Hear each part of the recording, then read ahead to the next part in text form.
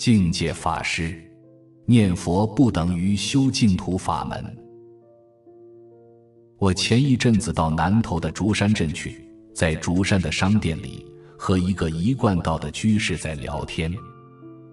他告诉我，他是一贯道的点传师，在一贯道里这是很高的阶位。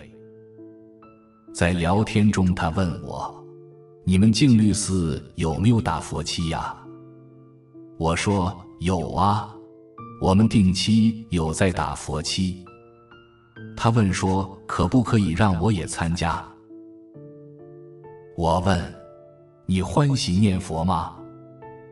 他说是啊，早晚课早上晚上都念佛。我又问你为什么念佛？他说我在做生意，事情太繁忙。有很多人事的繁忙，在念佛的时候，让我的心能静下来。你说我一念佛就让心静下来，这个念佛好不好？我问，那你念佛的时候，你内心有没有关照力呀？你相不相信佛号是一个大的功德力，它能救拔你？他说我不相信。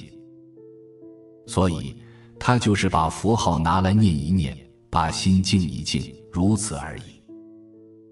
世界上万事万物是因果相续相应，这样的因地不能构成净土法门，只能够说你在念佛，但是不能说是在修净土法门，因为你念佛的时候，你没有关照，没有信心，没有往生的愿力。这就表示你无法跟弥陀感应道交。当然，佛号的功德会给你在内心中带来一点安乐，但不能造成一种出离三界、成就解脱这么大的力量。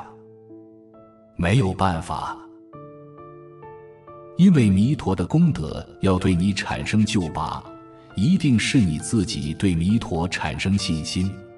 自己成就往生的愿力，这个功德才能够开展出来。否则，你念佛只是用佛号把心静一静，如此而已。